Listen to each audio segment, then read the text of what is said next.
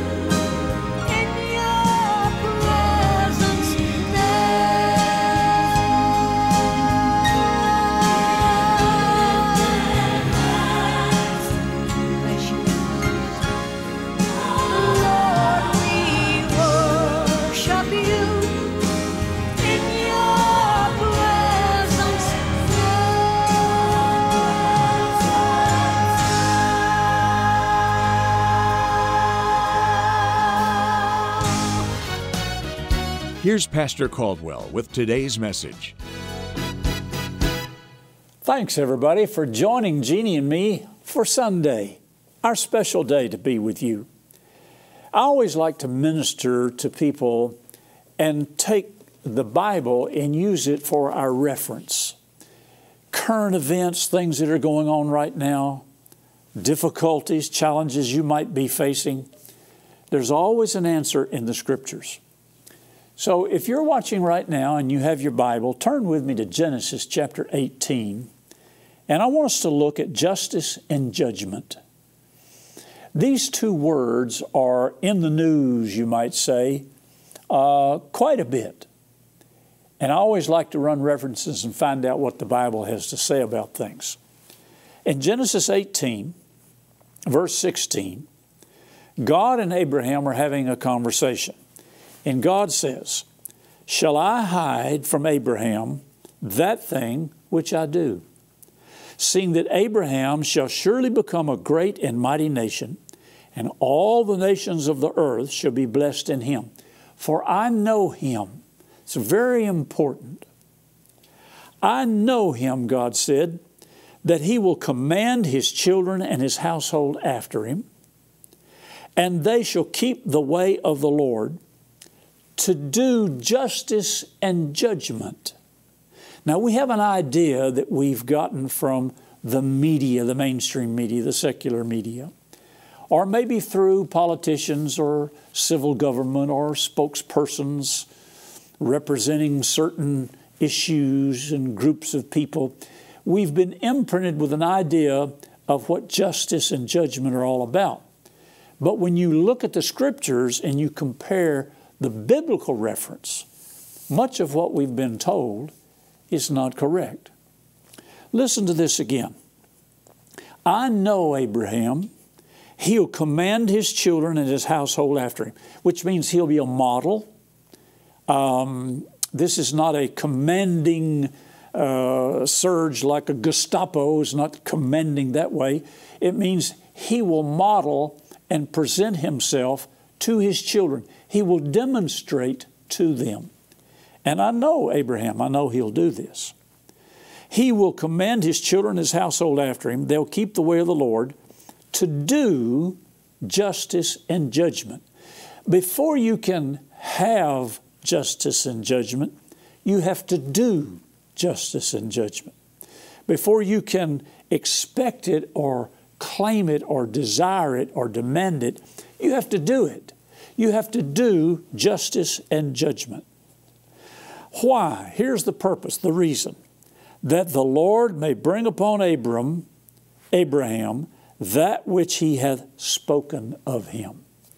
If we want to see the goodness of God, the kindness, the blessings of God, the anointing of God, if we want to see God's miraculous power, if we want to see the manifestation of the presence of God, then we're going to have to do justice and judgment. And I want to say this before I get any further. You might be surprised who God is going to hold accountable for justice and judgment. It's not government. It's not the police. It's not the legislature. It's not Congress. It's the church. You see, Pastor Caldwell, you're always laying all these challenges at the doorstep of the church. That's because that's what the Bible says. The church is Jesus' body in the earth. And the church is supposed to mirror and model everything to this world. Let me read you some interesting statements about justice. Justice is based on intention under moral government and even under civil government. Listen to it again. Justice is based on intention. The Bible respects intention more than results. When the heart is right, God considers all things right. And we're going to read some scriptures here. The Bible says righteousness exalts a nation. Now let's go back to Genesis 18. The first thing that we have to note is the Lord said to himself, The Lord said this to himself I am going to reveal what I'm about to do to Abraham because I know Abraham. Now go with me over to James chapter 2 and let's look at verse 21. James chapter 2 and verse 21. If you have your Bible, follow along with me. James chapter 2, verse 21 through 23. Was not Abraham our father justified by works? Now, Abraham was the father of our faith. When he had offered Isaac his son upon the altar, seest thou how faith wrought with his works, and by works was faith made perfect? And the scripture was fulfilled, which saith, Abraham believed God, and it was imputed unto him for righteousness, and he was called the friend of God.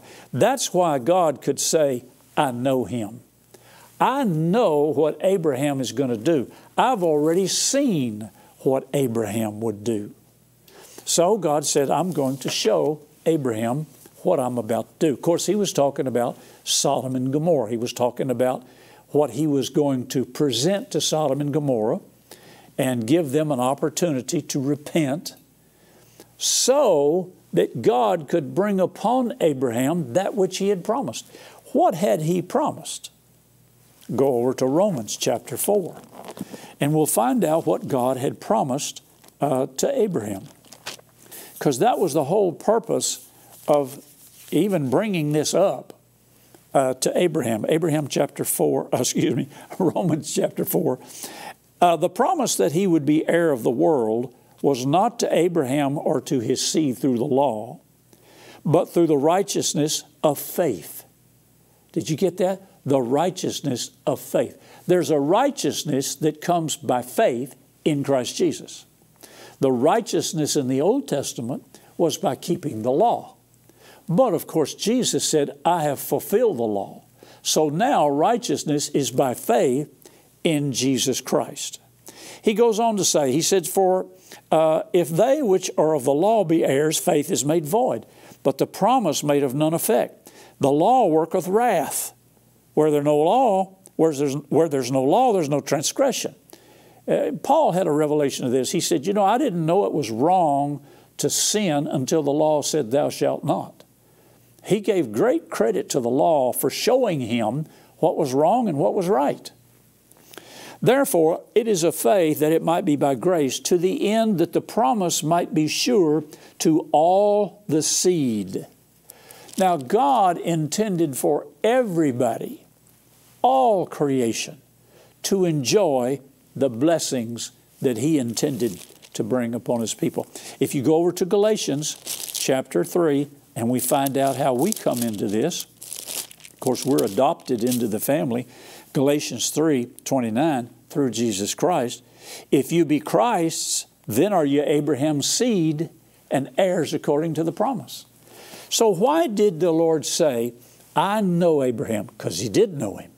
He knew exactly what he would do in every situation. And he said, uh, He will command his children and his household after him. They will keep the way of the Lord. See, justice and judgment are not something to be feared. They're not something that can be legislated. They're not something that can be um, commanded or demanded uh, by law. I know we think they are, but justice, uh, let me tell you what justice is. Let me, let me define it for you. Here's what the definition of justice is rightness, righteousness, moral virtue, excuse me, to administer or maintain what is just, impartial, merited awards or punishment conforming to the law. If you go over to um, Romans chapter 13, let's go over there and let's read this. I'm kind of getting ahead of myself, but everything seems to be flowing in this direction. Romans chapter 13 And let's look at verse 1. Let every soul be subject unto the higher powers. There is no power but of God. The powers that are be that are the powers that be are ordained of God. Whosoever therefore shall resist the power resists the ordinance of God, and they that resist shall receive to themselves damnation. Rulers are not a terror to good works, but to the evil. Will then you not be afraid of the power? Do that which is good, and you'll have praise of the same. For he, the authority, the power, ordained of God. If he is the minister of God, he's the minister of God for good. But if you do that which is evil, be afraid, for he bears not the sword in vain. He is the minister of God, a revenger to execute, execute wrath upon him that doeth evil. Wherefore you must needs be subject not only for wrath, but also for conscience sake. So he's saying here that the law is never going to create a righteous response. Just the fear of the punishment of the law, just the fear of the wrath or the merited or unmerited uh, dispensation, the, the uh, handing out of uh, awards or punishment. That's never going to change anybody. It says we must learn, listen to this again, we must learn to conduct ourselves for conscience sake. This is why everybody needs to know Jesus Christ as Lord and Savior. The Bible said that God has made of all men one blood, and in Him we must live and move and have our being. Jesus has to be preached, Jesus has to be modeled. You're always going to have injustice. You're always going to have justice. You're always going to have judgment. You're always going to have these things in life. But what we're after is we're after the biblical definition of what justice is all about. And we can see that the responsibility lies at the hands of the church. Rightness, moral virtue, uh, merited awards or punishment. Uh, let's, let's go back and read some more of these notes on justice. The Bible respects intention, the intent of the heart, more than results. When the heart is right, when the intent of the heart is right, all is considered right. That's why God was talking to Abraham about Sodom and Gomorrah. He said, I don't want to have to destroy these people. I'm going to go down now and see for myself. And if they're willing to repent and they're willing to turn, if the tipping point has not taken place, then they can all, all be saved. And Abraham stood before God for 10 righteous. God's looking for right intents of the heart.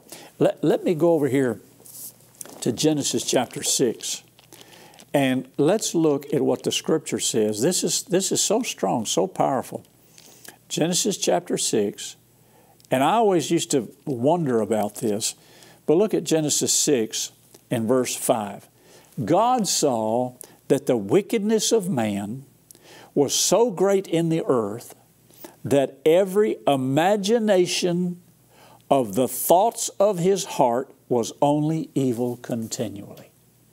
The thoughts and the intent of his heart was only evil. Didn't make any difference how many laws he kept. Didn't, didn't make any difference how many sacrifices he made. God said, the thoughts and intent of his heart is only evil continually. And it says in the language used, it grieved God in his heart that he'd even made man. Now you have to understand that. You have to know the, the character of God. God made man for fellowship. That's, that's really what prayer is. It's fellowship, it's worshiping God, it's spending time with God. God made man for fellowship. He created the universe for the earth, He created the earth for man, and He created man for Himself. Made him in His image so we could worship Him, spirit to spirit. You know, the Bible says that we worship God in spirit and in truth. So God intended for man to have right thoughts. God intended for man to govern himself. You heard that colloquial expression, let your conscience be your guide. Well, that's only good and true if you have a right conscience, if you have a rightness with God, a righteousness with God. And the only way you can get that is through Jesus Christ. So you have to know Jesus.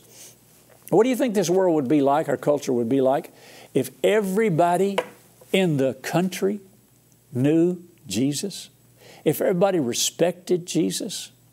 You would automatically respect each other. You would automatically love each, each other. Well, that's what it says in Romans. In Him we live and move and uh, excuse me, Acts. In Him we live and move and have our being. Okay, let's let's go on to another one. Let's go over to Romans chapter one, and let's let's look at verse. Let's see, Romans chapter one, verse twenty-eight. Let's look at Romans 1 28. Even as they did not like to retain God in their knowledge, God gave them over to a reprobate mind to do those things which are not convenient. And then he lists all the things that people were doing in that time, and God gave them over to a reprobate mind because they did not want to retain God in their knowledge. Back to Genesis 6 5 that we read just a minute ago. It said, God, it grieved him that people, uh, the thoughts and the intents of their heart was evil only continuously. Think about it. Now we only we don't have. well, I guess some people would say we have it continuously, but uh, we don't really. And I, I, want you to notice that. Let me read one more scripture, and and then we're going to pray. In Hebrews, uh, chapter four, verse twelve, the word of God is quick and powerful and sharper than any two-edged sword piercing even to the dividing asunder of soul and spirit, the joints of the marrow, and is a discerner and the thoughts and intents of the heart. Uh, the Bible respects intention more than results. When the heart is right, and the Bible says, righteousness exalts a nation. So, what we've got to have is justice and judgment, Bible style. And, church, it's our responsibility to start it off, to model it. Now I want to pray. There's a, a prayer request here, and it's always a, a, a, joy and a privilege to pray for you.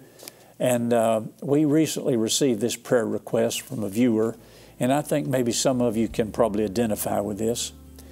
Um, I'm going through a time of bad depression. I've had this for some time, and I've taken med- medication that helped for a while, but I need prayer. The joy is gone, and I'm very sad. I want to pray for you. And there might be others out there that are watching right now. The joy of the Lord is your strength. Now, I'm going to pray deliverance over you first of all. So, if you're watching right now, or if you need prayer in this area, I want you to just stretch out your hands towards the TV set. And I want you to say, In the name of Jesus, that's right, repeat it after me. In the name of Jesus, the joy of the Lord is my strength. Therefore, sadness and depression, leave me now.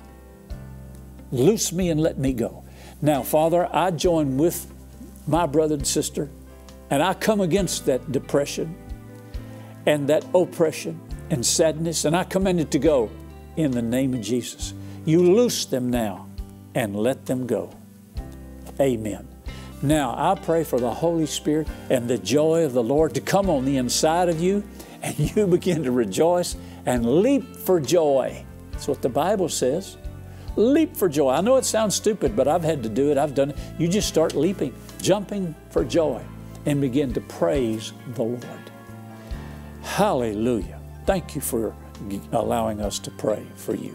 And always remember, we're here to pray and stand in agreement with you email me at prayer at vtntv.com or call 1 800 264 2525. Now, don't go anywhere. I'll be right back right after this.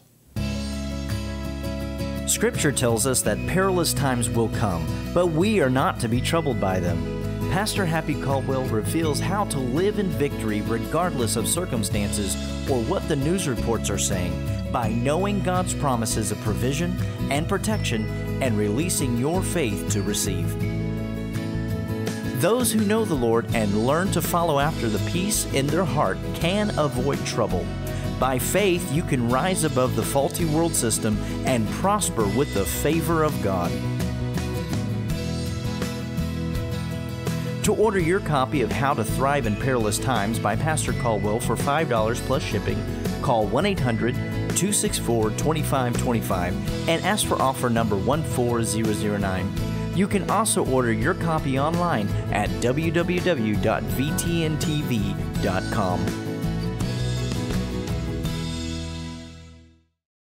Get your copy of How to Thrive in Perilous Times today.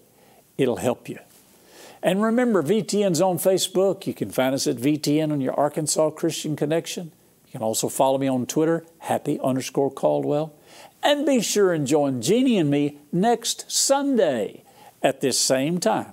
And remember, happy is the man that finds wisdom and the man that gets understanding. Thank you for watching today's broadcast. If this program has ministered to you, please consider making VTN part of your regular giving. To make a donation or to contact this ministry, write to VTN, P.O. Box 26207, Little Rock, Arkansas 72221. You may also call 501 223 2525. Today's program is available to watch on demand. Log on to VTNTV.com and click Watch. VTN is also on Roku. Search VTN in the channel store and add us to your lineup. You may also order a copy of today's show on DVD by calling 1 800 264 2525. Ask for the offer number on the screen. And join us again next time for Sunday with Happy and Jeannie Caldwell.